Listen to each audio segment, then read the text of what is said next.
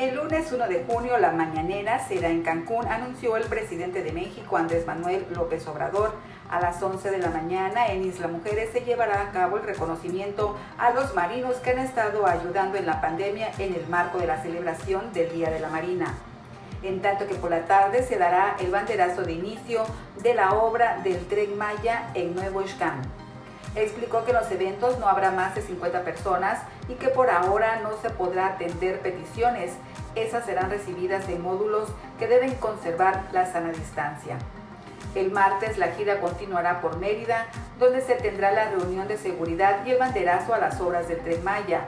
Miércoles en Campeche, jueves asistirá a Palenque, Chiapas, viernes en Villahermosa para la supervisión de Dos Bocas Paraíso y por la tarde en Coatzacoalcos, Veracruz.